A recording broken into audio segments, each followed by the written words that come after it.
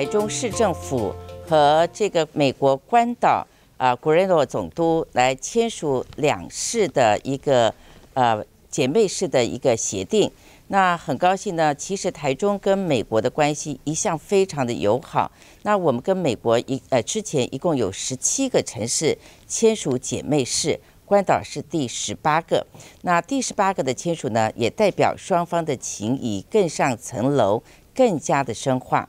那我们希望今天签署之后呢，两个城市之间彼此在经贸、在文化。在观光、在医疗、在教育各方面都能够有深厚的一个发展，也使得台美之间的关系啊更上层楼，再创新章。